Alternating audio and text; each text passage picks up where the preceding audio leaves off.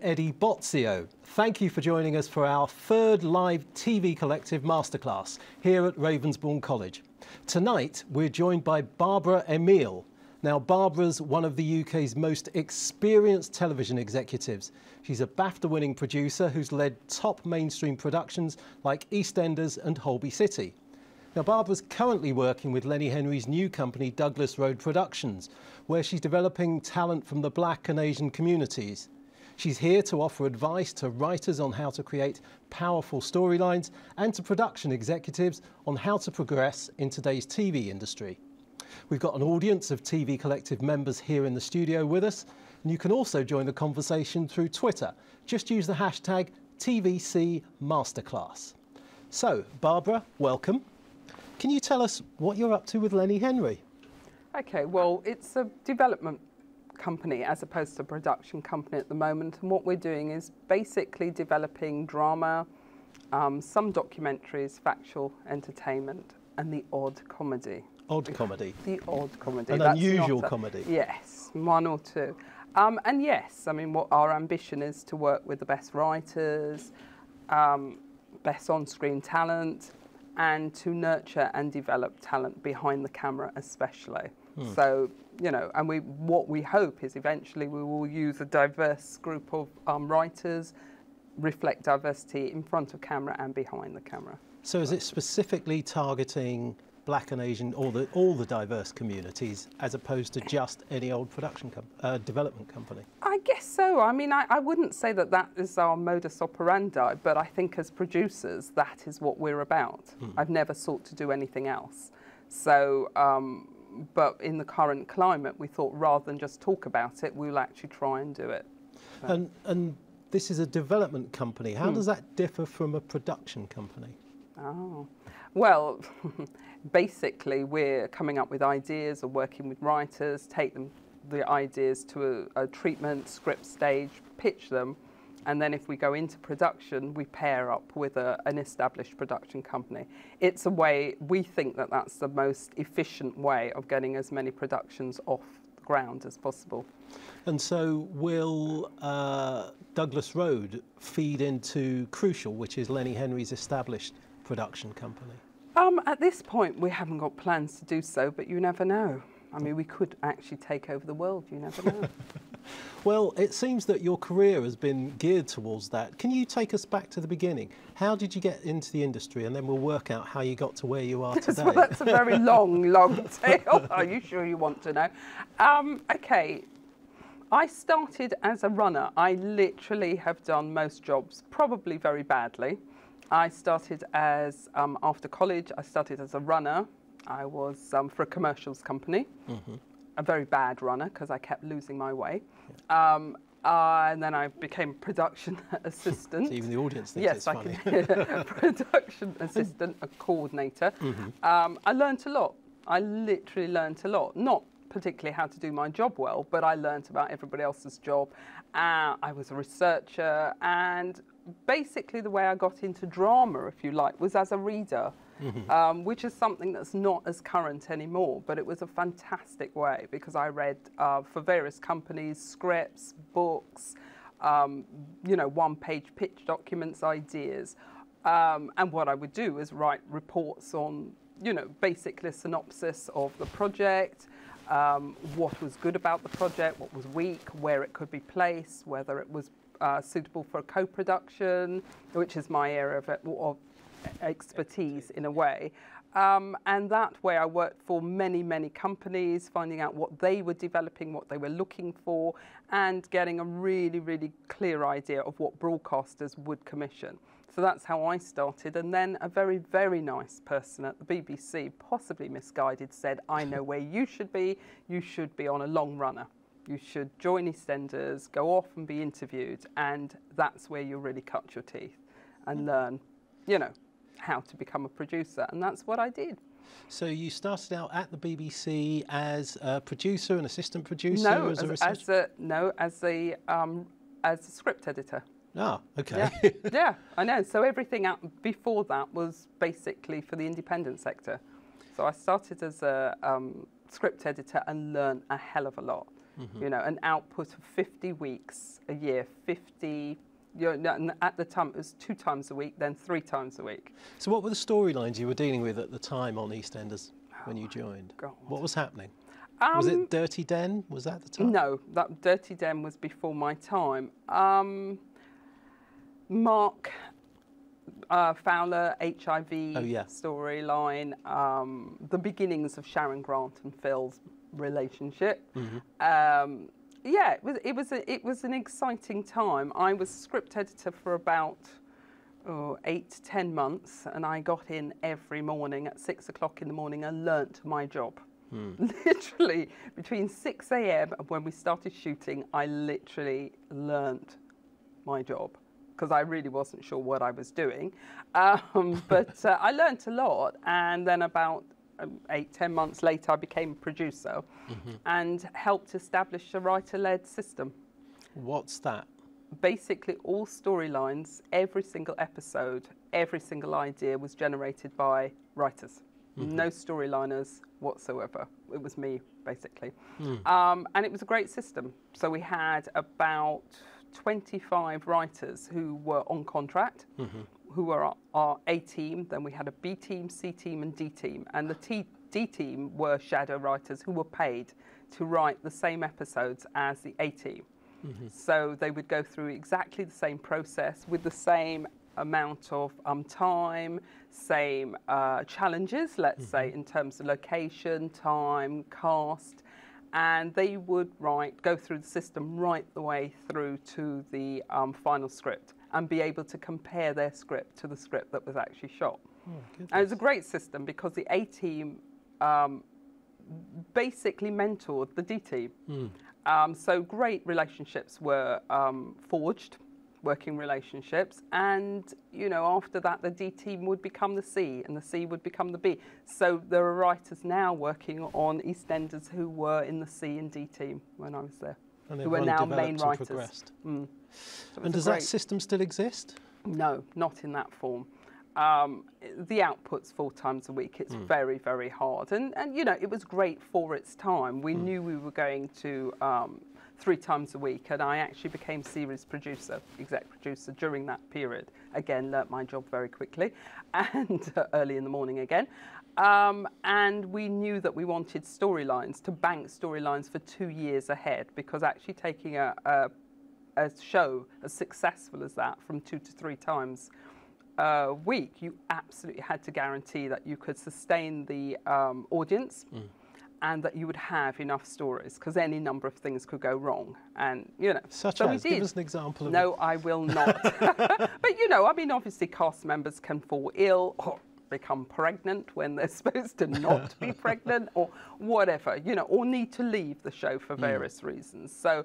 Um, it was a way. It was a good time. I mean, it was it was fascinating actually working with the writers to plan two years ahead.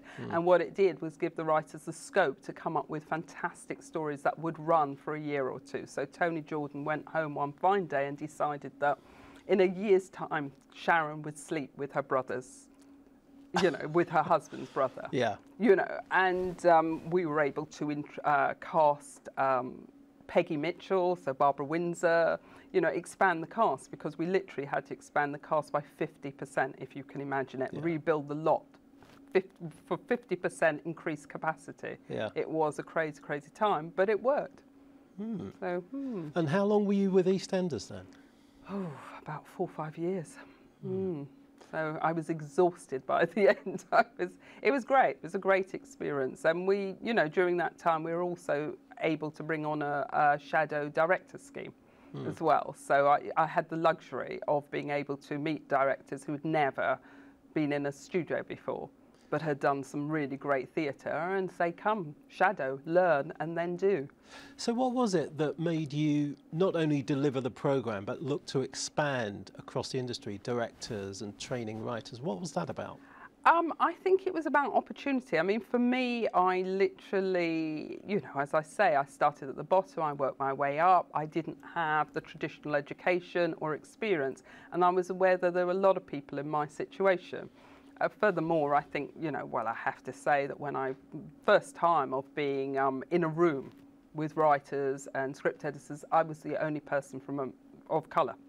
And that really sort of hit home to me, and I realised, well, there's so many talented people out there. They just they're not getting the opportunity, and the people on the shows did not know they existed. So it was a way of sort of bridging that gap. And it, I mean, I, I tried as best I could to go for absolute diversity, including um, regional. You know, I was amazed how many people would come to see me and, and they would say, you know, I'm from Northern Ireland and someone said I could should come and see you, you know. Um, but it was good, yeah, but I think it was important and I think it continues to be important in the industry. And looking at the current state of the industry, you're talking about Mm. a time in the. Yes, well, it's not polite to go back that far. How much change have you seen in, in well, we've got the Mm. big debate about diversity at the moment. Um, I think there's been a lot of change. I Hmm. think there's a lot of positive developments that have happened in the industry. But what is shocking to me is behind camera, it hasn't progressed as much as I thought. I, when I, I you know, chopped and changed in terms of work post EastEnders, um, and I decided many years later to go back into production because I hmm. had been in development for some time. I'd taken a break from the industry. So when I went back to work on Holby, I wanted to produce again. I literally wanted to roll my sleeves up. Hmm. I was absolutely amazed hmm. that I still walked in, you know, in the building and I was one of very few. Okay. And that was disappointing to me, actually. Let's take you from that disappointment back to Hmm. working on EastEnders and the success you enjoyed there, because you ended Hmm. up with a BAFTA.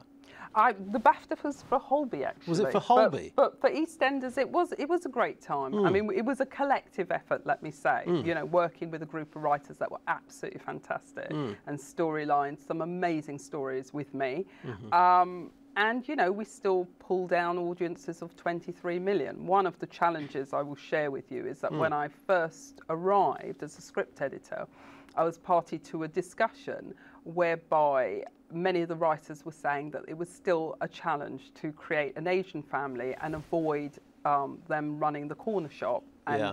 having stories about arranged marriages. And one of my successes that I hope was a success was actually creating three characters, running a storyline, and actually having a bet with someone that I could get 23 bums on seats to watch those characters in a love triangle. And at the night we got 23 million. I was uh, really, really proud and very, very pleased. And, and establishing that family in EastEnders, how difficult was that? Not difficult at all as far as I was concerned. They were just Was there good- much resistance? No, no. It was great. It was absolutely, the writers were absolutely, all they want to do, all any writer wants to do is write fantastic characters. The more stories, the more challenging, the more entertainment, that's what they want. They don't, you know. So it was great. It was absolutely brilliant, you know. Okay, then you took, you left EastEnders, took a break to raise your children. Hmm. No, I actually went on to, I left EastEnders and became an exec producer of the series department, which again, I didn't know what I was doing, but there was a fine... Is that the way to progress your career? Take on something where you don't know what No, you're doing? it, it, no, not at all. But it's just that I think I came in in a different, you know, it was Hmm. a different time. Um, I wasn't aware of any training schemes. It was fantastic. I Hmm. was just allowed to do my job and progress. I mean, that said, obviously, I had accrued a hell of a lot of experience doing other jobs badly. Mm-hmm. So, you know, and, uh, you know, I mean, for EastEnders, one of my qualifications was actually running a market store myself. Really? yes. With, with a view to what? What to Well, I- understanding? no, no, no, no, no. Um, before I got into the indus- industry, I did many, many jobs, and one of them was running a market stall. So at my interview, um, I was asked, did I have any pertinent experience? And I said, running a market stall, as opposed to working on any of the long-running shows. I was very lucky. Tony Jordan was there at the time, and Tony had run a market stall. Ah. He was a market trader who started writing. So he recognised Yeah, so we talked a lot a about kindred trading. spirit. So yeah, but getting back to execing, Hmm. um, it was it was good. You know, uh, it was excellent experience, uh, and you've got to start somewhere. You know, you have to. A lot of the time, it ends up learning on the job. Hmm. You know, and that's what I did, and that's what most people do. That's what writers do. You learn and hone your craft by doing it. Hmm. So yeah, and it was I was there for a couple of years, worked on some good shows, starting from scratch. you know. Um, yeah, it was good. And then I left. Okay. Then you left Hmm. and took time out to raise your children. I'm going to drive you mad. No, I didn't. No, you didn't. I took, I took time out for, you know, for various reasons, Hmm. but then I joined a um, film company Okay. uh, to run the television arm of a film company. Ah, yes. So that was that was very interesting because Mm-hmm. it was an area that I hadn't worked in, and film is completely different. I mean, the budgets for a start were breathtaking. Mm. You know, it was monopoly money to me, um, and yeah, I stayed there a couple of years, So you've and gone. then I took a break. no, At no, no. last, so you've gone got there. from a soap uh, into the film world. Mm. What's what's the apart from the budget? What's the big difference you'd say? Oh gosh, I mean, and sustaining a 90-minute story, it's a completely different um, a challenge, really. In actual fact, for me, because it was very much development, I um, found the pace very different because working on a long runner, you are working flat out. But what what is amazing is what you work on gets televised Hmm. it will hit the screen. So you, you know, even if you make mistakes, you pick yourself up, you learn from those mistakes, and you get back and you do the next episode. So it is an amazing skill and an amazing experience because no matter what you do, it is going to be out on screen. You know, it will be shown in millions of homes. Whereas film, I think, is fantastic, but it takes years to craft, and um, I found it a very, very different pace. It was, it was a great experience, but you know, What were some of the films you worked on? Oh my goodness, and most of it was development, and I and and I shouldn't have been working on films. I was supposed to be um, developing television, but it was just, you know, I, we were always at a meeting. Um, talking about films instead. It's very strange because most of the time I nodded and I smiled as I'm doing now, not really understanding what anybody was saying. And then I would go home and I would literally read as many scripts as I could. I would research as much as possible, learn um, very much about the budgets, how much everything was costing. So again, it was an education, Yeah. you know, a very um, strange education, but it was a good one. Okay.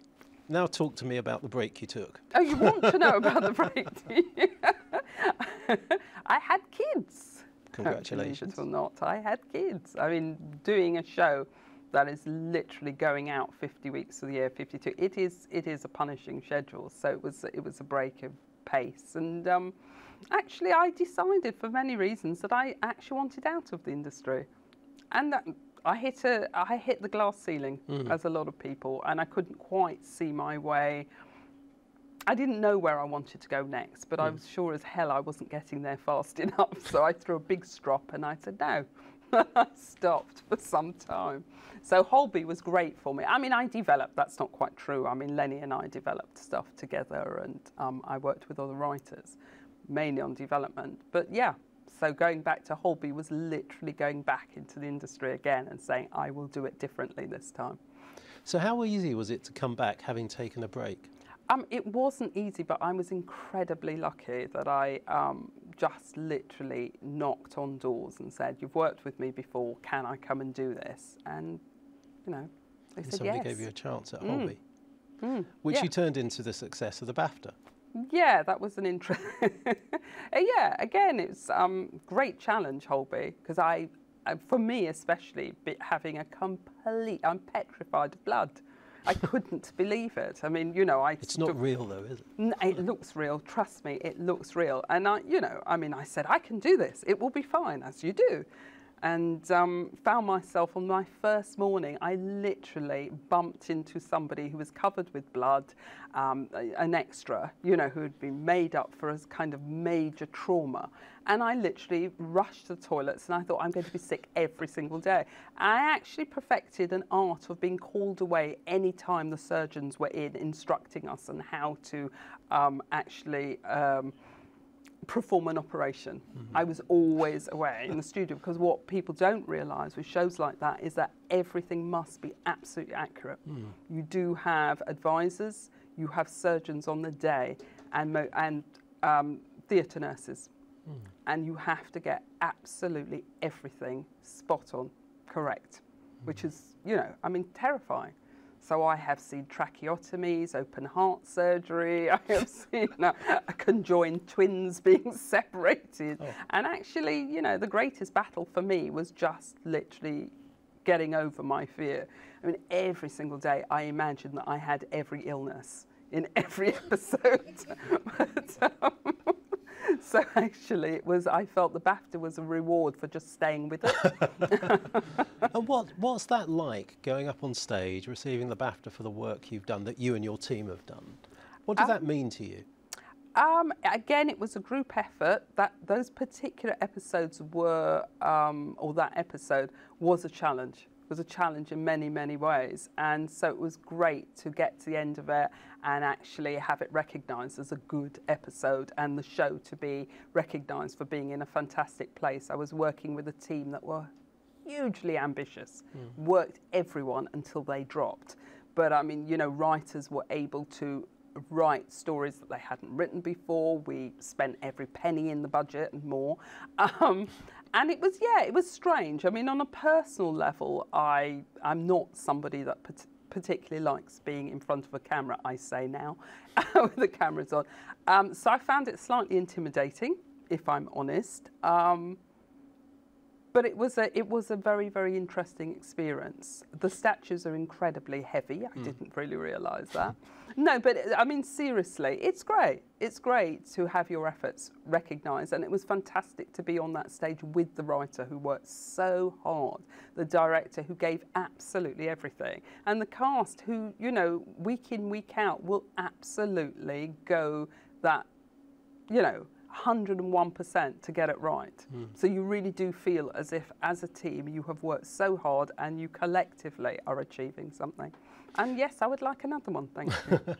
Well, I was going to say, we're, we're going to go to questions from the hmm. audience in a moment, but what difference do you think having the BAFTA made to you or has made to your career?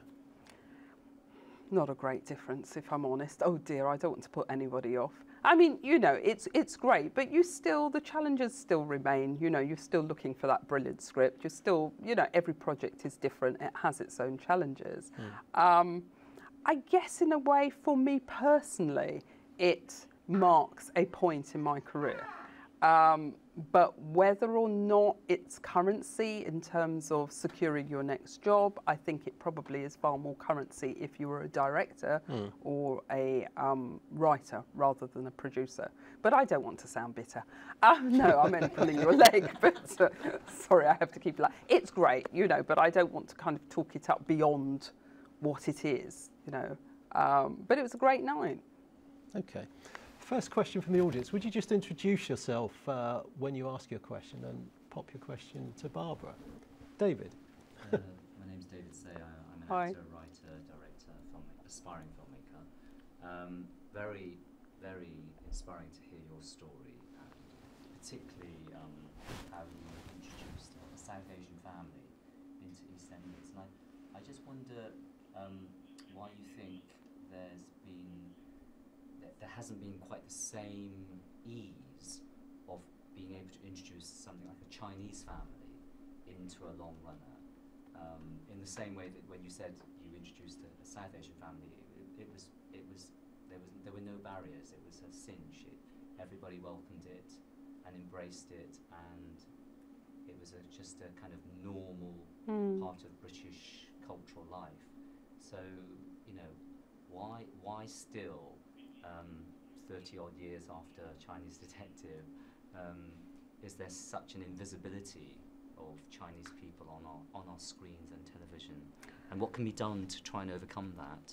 Okay, I'm going to be absolutely honest. I don't have the answer to the first Sure, question. I sure. wish I did. Yeah. You know, um, it's about opportunity. I can only talk about EastEnders as, as it was when I was there and ran it. I don't think that there is a particular resistance to do it. I know the team there at the moment are fantastic, are working incredibly hard. Sometimes it's about stories, and the stories are planned so far ahead, you know, that you work with the cast that you have.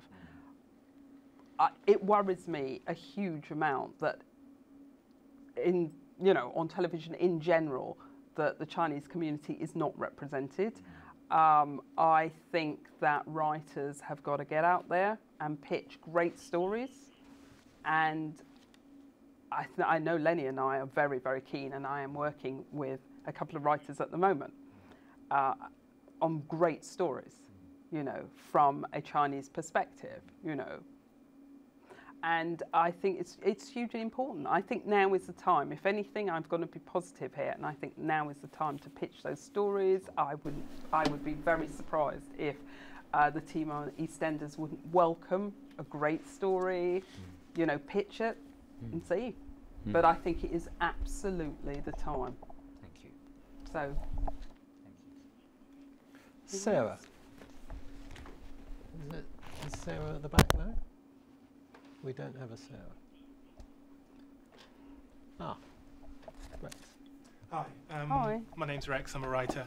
Hi. Um, what would you think um, would change if EastEnders, Holby, uh, Casualty, the long-running soaps on BBC, um, if they didn't have, uh, if they had a, like a six-month rolling contract to be renewed every six months, rather than playing storylines in the year in advance, what would you think would change in the quality of the writing or the quality of the programs? Um, it's hard to talk about the quality, but the output would be very different, and it would be very hard what when you've got a large cast like that, you literally need to be in production 50 weeks of the year to be able to tell stories for all of them.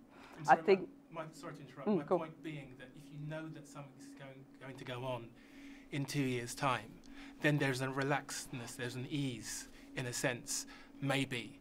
Um, but if you know that everything that you write is probably going to be the last thing that you write, then maybe there might be a difference in that. What's your thoughts? I it would just be a, a different animal.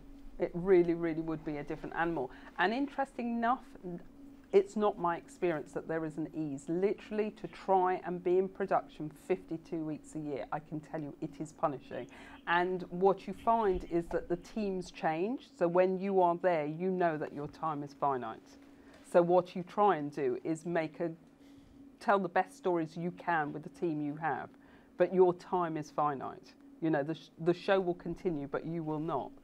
So my challenges whilst I was there was, as I say, to reflect diversity on screen, to create some great characters irrespective, and um, tell some good stories. Um, and we did that, you know. But and so honestly, I know it sounds really strange, but the pressure is on all the time. So the adrenaline high is all the time, you know uh, you don't you don't have, or at least if they have a relaxed period, I never had it. And with writers, especially, I think you know as a writer, you are not if you've got other stories to tell, if you want to write films, if you want to write one-offs, which most writers do, you know that you will be there for a period of time, and then you will move on. So you tell the best stories you can, but when it's your time to move on, you move on. So actually, it's almost like a self-imposed limitation on how long you'll be on the show. I mean, some writers do remain on the show and do incredibly well because it suits them. That medium suits them, and the shows would not be able to. They would not literally. The output would cease if you could not depend on writers on a regular basis. But you know, when I was on EastEnders, for instance, I'm, i know he won't mind me saying this, but Ashley Pharoah, we sat down and we had a coffee and we and I said, you know, there will be a time, Ashley, where you will decide you want to move on because I already knew that there were other stories he wanted to tell. He and Matthew Graham and Tony Jordan, you know, they went on to write Life on Mars. Would they have done that if they hadn't had the discipline of running on working on a long runner? I don't know. But to be honest, it's always pressurized. That's not to put anybody off, but it, you know, it's quite exciting actually to know that for a writer, you know, within three months you are writing an hour or an hour's worth of programming. It will go on, go out. It will be shot. It will be rehearsed. It will be shot. It will be edited, and it will be out there. So the pace is kept up, to be honest. So it would just my my opinion is it just would be a different show. Gentleman in the second row there. Hi, Ian Hi. Thompson. Ian Thompson. Um, I'm a writer producer. Um, it's interesting that you um, mentioned that uh, Douglas Road Productions, is it, is going into um, more development rather than actual production. Um, my question is, is there a reason why do you think that there's not enough BAME independent television companies being commissioned by TV? And the second part of the question, basically, is it due to the quality of the submissions, or um, are there, is the work not mainstream enough um, on the basis of, of that commission not happening? Um, I think in terms of answering the first question, I think it's really hard to survive as an indie. It really, really is, whether you're BAME or not. And the fact that BAME are so underrepresented in the business, it is so hard to financially stay afloat long enough to get a commission. I think on a practical basis, that's why I've been working with Lenny and others to try and push for ring fence money. I believe that ring fence money will make the difference because actually then the output will be greater, you know, um, there will be sustainability. I think that's the first thing. For BAME, for all production companies, it's a struggle. But when there is such serious um, underrepresentation, so that you may be the only company, one or three, and maybe at that point the only BAME company that has made that type of programming. So you're always, you know, the first. That's a struggle. So I, I think the economics really, really makes a difference, you know, and I think we need support, if I'm honest, so that there is a critical mass. Because what we want is a critical mass, because actually it's a creative industry, you do have to fail sometimes. For um, if you're in a minority, as we know, you always feel that you have to succeed. You know, if you fail, that's it, it didn't work. Well, no, what we want is a critical mass, you know, and we want sustainability. Now, anybody who's in an independent knows that, that, you know, you need to be able to pay your bills for two, three years. How long does it take to develop a good drama? Mm. So that's, that's the answer to the first question. The second question about quality, I think there's quality. I think there are writers out there. I think it's about um, your work landing on the table of the right person at the right time. Um, I hope that the, the industry is open now for a variety of voices telling different stories with universal appeal. It's just an interesting, sorry, interesting point there is that most of us has, that's worked in the industry for quite a while has basically seen a regression in terms of between the 70s and 80s where there were more BME people on TV. I was fortunate to get two commissions unscripted in the past. Um, now that the regionals have come together under the ITV umbrella, all those opportunities now have just basically gone by the wayside, and it's harder now for me, I feel, um, for BME um, independents to try and even get a look in. And I think, personally, I think the landscape has changed drastically for the worse. I mean, well, what's your views on that? Well, I think it did. I mean, um, the, the Skillset figures clearly reflected that uh, a, year-on-year decrease of BAME representation. I don't think anybody can argue with that.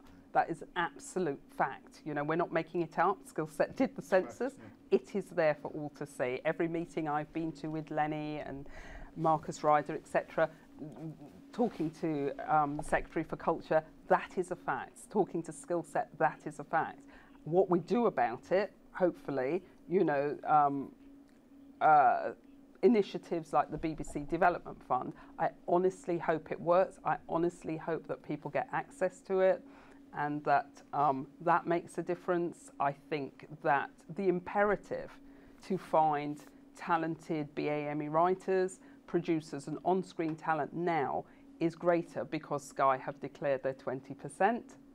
I think the BFI three ticks. Um, we hope that Channel 4 will announce something soon, that ITV will announce something soon. But if ever we're moving towards a more positive landscape, I think it's now. And I think what's important is that um, writers and producers, etc., must be ready. Barbara, you know. where, where are we with the ring fenced money campaign? Could you bring us up to date? Not really. I think, you know, as I say, the, um, all the broadcasters are announcing initiatives. Mm. I think that ring fence money, we, look, none of us are naive, so we know that that's a big ask. But all I can say is we will keep pushing for it mm. and hope that even if we don't get the ring fence money, the broadcasters will come up with something that is an equivalent. But So- my Sorry, you know, ultimately what we're looking for, at the risk of repeating myself, and if any broadcasters are listening, we are talking about sustainability because, as you say, we have had a regression. So, what we've done in the past has not worked. The industry must recognise that in order to have proper representation, we need companies to be sustained for a period of time so that there is a critical mass of work you know. And however that's achieved, I'm not sure, but we will keep pushing until, you know, something is in place. So, you know, I know that the BBC um, Development Fund is not the beginning all and end all, but at least it's the beginning. Um, you know, and I, and I think what will be interesting is if enough practitioners apply for that fund, maybe if there are more practitioners than there is money, that will be an indication that there is more talent out there, therefore increase the fund. You know, but I do think that Sky's 20% is a, is, a real step forward.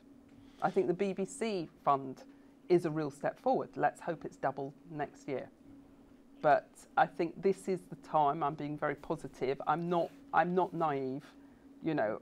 And and I would say that, and you know, not going back to my own experiences, but I would just like to say that when I seriously, the first time I walked on set as a newbie producer, I had to endure on-screen talent who decided to let loose their repertoire of stand-up racist jokes in front of the entire crew and all of the cast that were filming that day. I was on my own, there was no one else to look to. I dealt with it myself. So I do know what it's like to Yeah, go into a room myself, so- and hear terms that I would not have expected any educated person to use and combat that. And being a woman also was in another underrepresented group. I Hmm. do know what it's like. I'm positive, but I honestly have been there and dealt with it. So how, how did know. you deal with that at the time? What did you do? Um, what did I do? I made a decision that I had worked very hard, six mm. o'clock in the morning, I remind you, to train, so as not to let the opportunity go. And also, I was very aware that at the time, my the head of department was afraid to actually appoint me, okay, and came under pressure to appoint me. And so I was not going to allow the show to be disrupted. So what I did was very quietly say to the person who was delivering the jokes that they I was giving them five minutes in which to lay out their repertoire. After that time we got back to work and I reminded them of how much they had cost the production. And so I expected them to be word perfect, off the book, and deliver. And that's what I did. And would you advise others?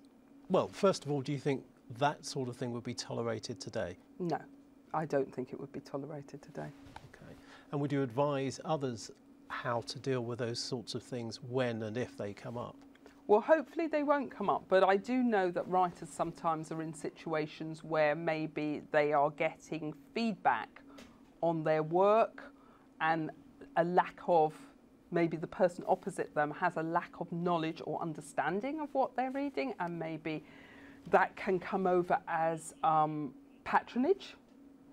I think it's hugely important to keep an open mind, but as a writer, especially to stand firm on your work. If you have to explain the arena, explain the arena. I think sometimes, I was saying to you, Eddie, when we spoke before, I think sometimes you go through a situation, I know I have, where I have decided to fit in. I have tried to be very low key and to fit in, you know, and not make any waves. I mean, eventually I made waves anyway, but, you know, I mean, we all decide how we are going to approach things. I think that at, in this landscape, it's hugely important that people recognise their own USP. Okay, so I'm going to use the terminology. I think for writers, especially BAME writers who feel that they've been rejected a lot, they're not being heard, what you have, if you have 50 writers in the room, it's your unique selling point. And as someone who's always looking for original voices, use your original voice. Use your original voice. I am meeting somebody, a writer, um, in a couple in a week or two's time.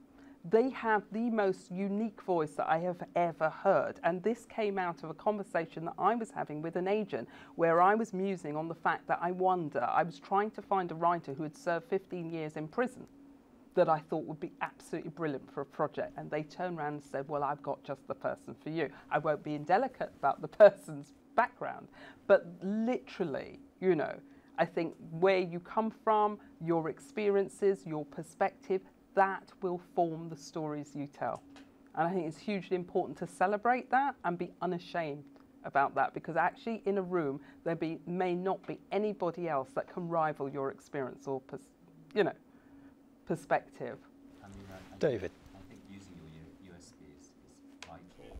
Um, but I've also been on various training schemes where that was that was taught to us. You know, celebrate your voice and your your your individuality. But then, um, during the course of the training scheme, um, if there is something that's sort of slightly un- unpalatable to the people who are in charge, they will try to sort of mould you in a way that they feel comfortable in terms of the, the, the kind of story, the way they would tell that version of, that, of a particular story. And, and that seems to conflict with this idea of using your own USP or Mm. individuality. Sometimes, Mm. sometimes certain stories perhaps are experienced in a slightly different way. Well, I think that's right, but that's always going to be the case, I think. You know, if you're one company and you make one type of programming, you know, then that's what you're keyed into. That's what you're looking for. So, somebody, if you're looking for high end drama that's procedural, somebody who comes to you with a story that is very much for a um, indie film, it's not going to be your territory. Do you know what I mean? I mean, the one thing I would say, and I do say to writers, you know, it depends on what. If you want to write a novel, write a novel. Play, write a play. If it's television, then it's collaborative, and you're talking about three to five million bums on seats. That has always got to be the ambition. So, three to five million bums on seats, whatever story you, you want to tell, I think it literally has to be able to appeal. You know, you want universal themes, universal themes that will reach. You know, the cast does not matter, Mm. actually. It's universal themes. Even if you're opening a window, a door to a world that no one has ever seen, a universal theme will resonate wherever in the world you are. I think the other thing is, thank goodness, we are now coming to a point where um, programming should be global. The markets are different, and I think that people, program makers, broadcasters, whoever, who are literally continuously thinking about a domestic market, fine if it works for you. But there is a market out there which is very, very large. I give you an example of um, my partner has just made a project. It's not, it's not drama, but you know he proudly came back to say to me, it was sort of factual, that um, one of the teams that they were following, they were following a team, was tweeting 1.5 million followers in India. 1.5. Barbara, the- do you think these new, the growth of new digital Mm. platforms present opportunities for diverse writers? Yes, yes, I do. And I think that is a fantastic area to be exploited. I genuinely do. Hmm. I, you know, you're talking What should about people a be global. doing? Well, I'm, it's listen. I'm not an expert, but I think that one of the things that I'm doing, and I would suggest everybody does, is literally interrogate the digital platform. Hmm. Start viewing, start watching, start um, researching. You know, and see where your work would fit. Hmm. I think that companies will spring up. I think Amazon, I mean, amazingly, you know, people are posting their their um, scripts. The audience will literally devi- decide whether or not that script is, you know, commissioned. Um, I I mentor a um, young director, producer, writer, Samuel Benter. I have done, you know, Samuel is reaching many, many people just on the uh, uh, internet. You know, I mean, um, Mandem on the wall are inspirational. Look, I couldn't produce it. I, you know, I'm, most of the time I'm looking and I'm thinking this is funny, but I feel like an old, you know, what? but admirable. You know, understand your your audience, identify your audience, and you know, situations like this is fantastic. I think colleges are very interested in collaborating now. I think, you know, most people can get a camera out these days, you know, the iPhone. Mm. For God's sake, people are actually filming on and upload it. Yeah. Literally, I would just upload it. Having started exploring the digital world, we've got a question in from J. Ray Villar on Twitter who asks, what's the best way to approach the long-term series market? As a Portuguese Emmy winner writer, I'm finding it very difficult. To, sorry, to... I'll just have that question back again. Mm. Question is, what's the best way to approach the long-term series market? So we... They're Portuguese, uh, they're an Emmy winner, uh, they're a writer, but finding it difficult. And they want to get into writing long-term series. So, I mean, well, there's a difference. If it's long runner, which mm. I'm assuming it's not, um, you know, an established not long runner, I mean, mm. it sounds as if the person, the writer is, will generate original content. Mm.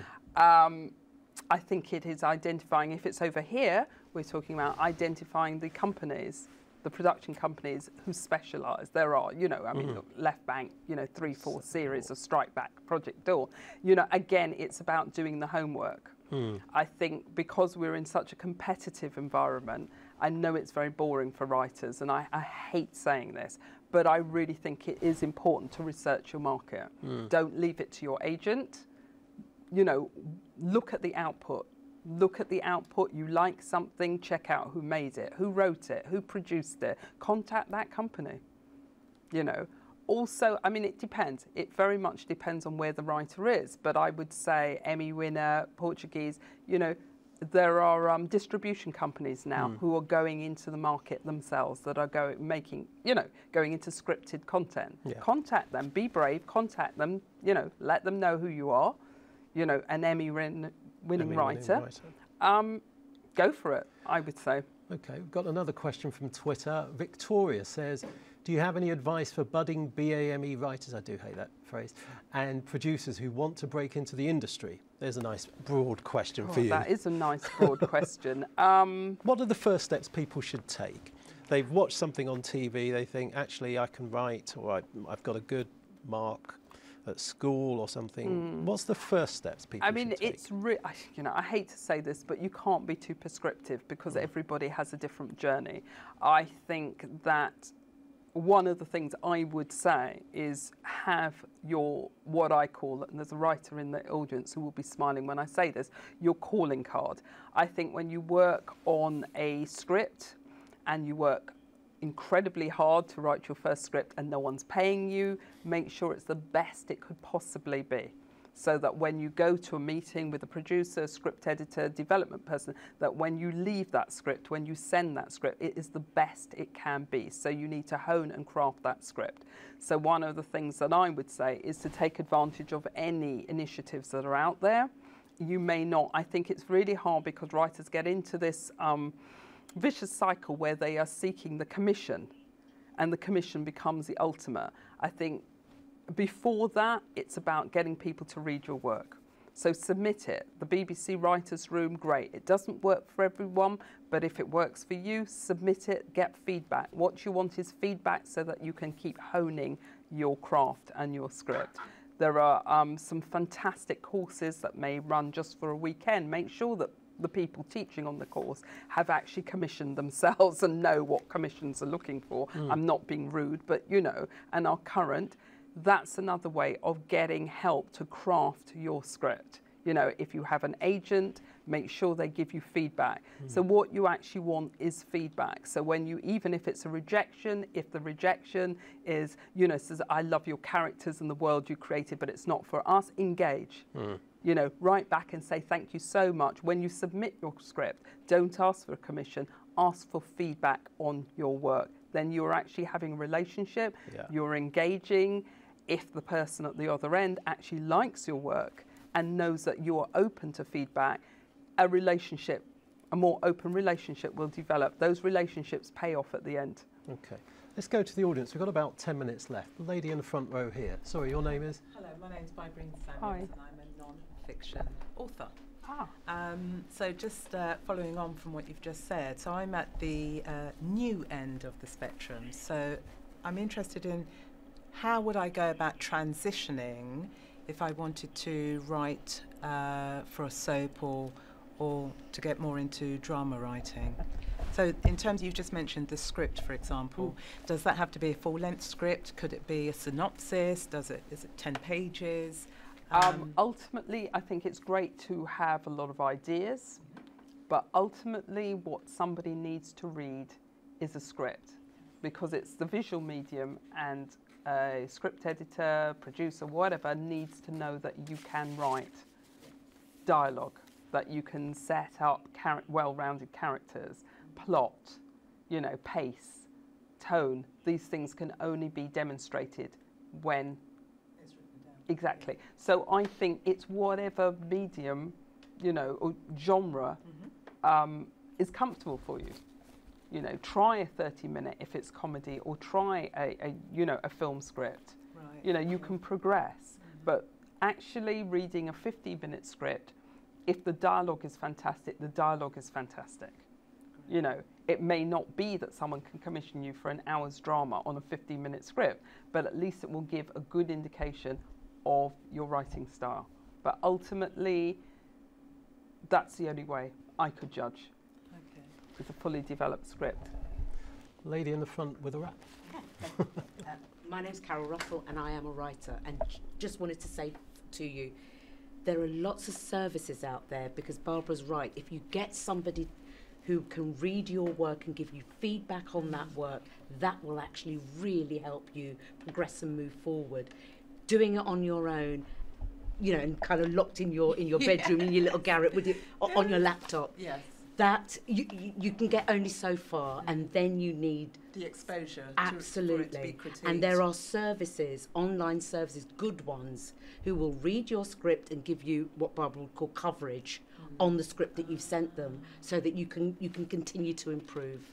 Because that a bit apart from having your script produced, that's the next best thing in terms of learning what works and what doesn't. And do I have to have an agent at this No. stage or not? So No. it's just about creating it Mhm. and then submitting it, getting feedback. Absolutely. Can I also say, and it's something I forgot, but um, really try and do some research and find out all the possibilities to get financial assistance, to go on courses, to do these things. So, Skillset, absolutely. I think at the moment, Skillset are keen and eager to help and promote BAME talent.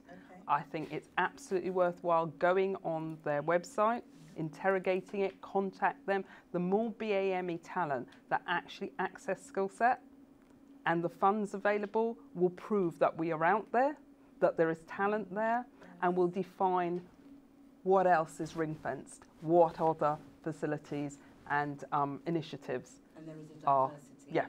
uh, bursary That's right. now.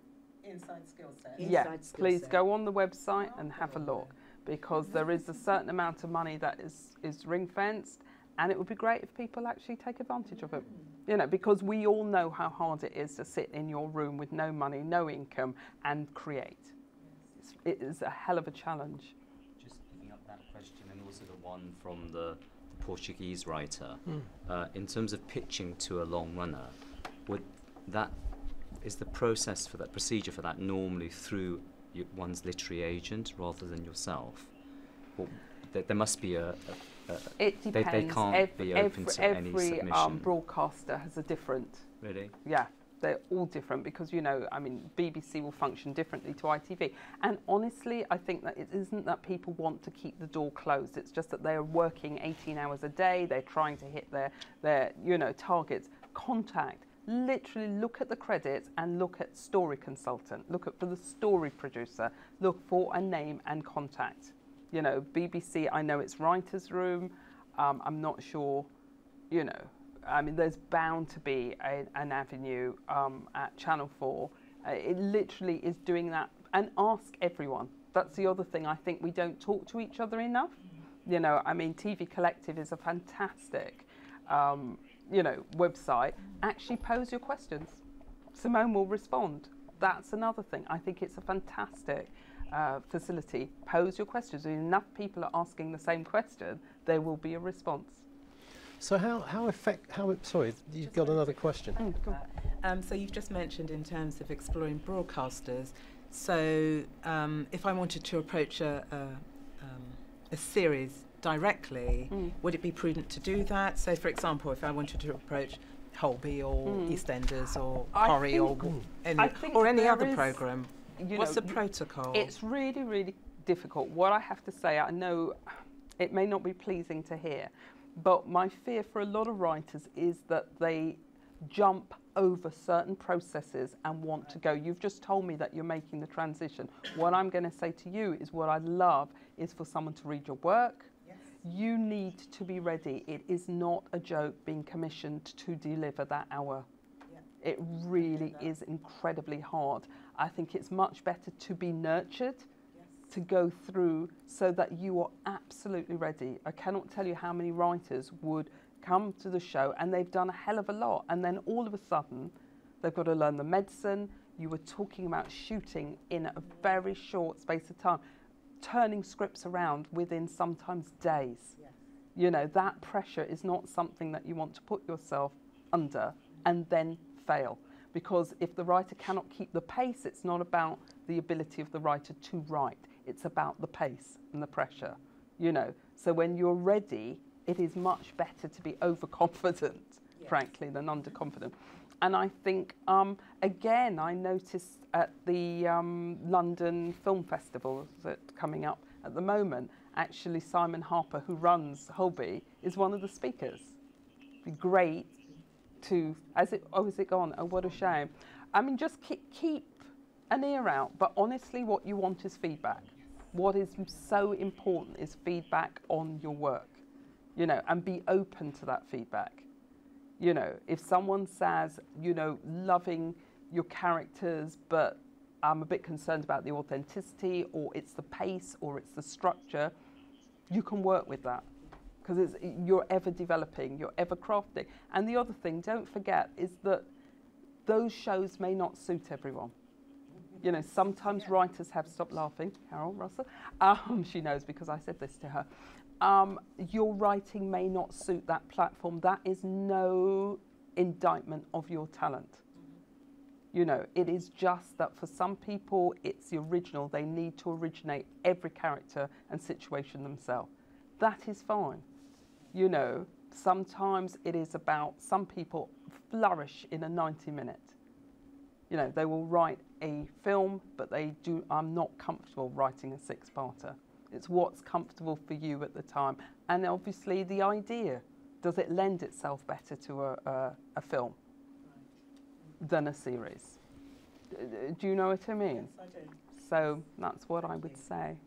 David. One last thing. Go on. Read scripts. And the BBC Writers' Room is a really good um, archive to Yeah. go and read scripts so you know what the format looks like. You understand how the storytelling works Yes. in that form. Just do you see what I I mean? do. Thank you. David. You mentioned earlier about um, global audiences Mm. creating other opportunities, other platforms, and I wonder how one deals with certain cultural gatekeepers who might respond to a story and say, "Yes, okay, it's it's it involves a lot of British characters, but the lead character is from a different country and therefore is not British enough."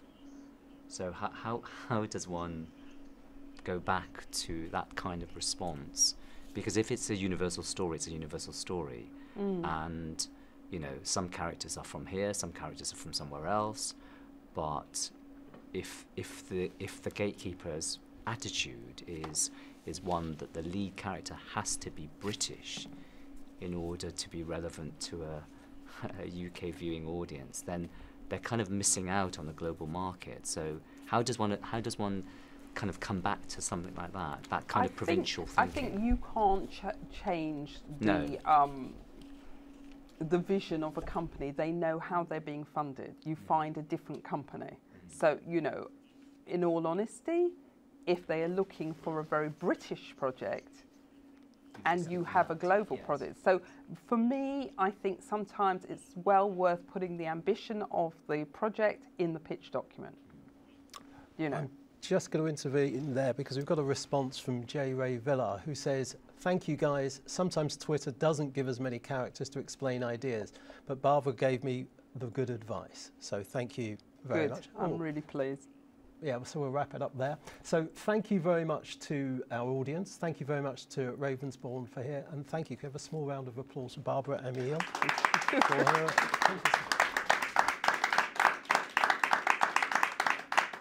Thank you very much. And just to say um, that uh, thanks to the staff and everyone here, we will be having a lunch with somebody from Kudos, I think, in the weeks to come. So check the uh, TV Collective website uh, just to let people know about that. Uh, it will be I, uh, Daniel Isaacs, he's the Chief Operating Officer for Kudos Film and Television. More details coming through the website. Thank you all again. Good night.